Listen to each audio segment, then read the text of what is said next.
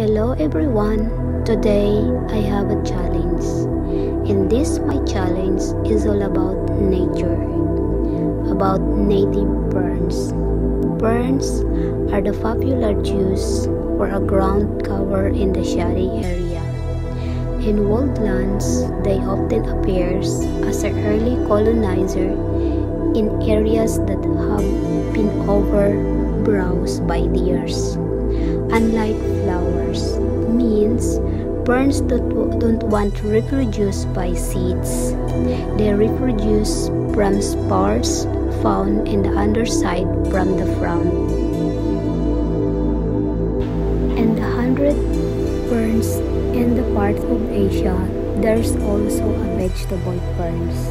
It is a edible ferns found throughout Asia and Oceania.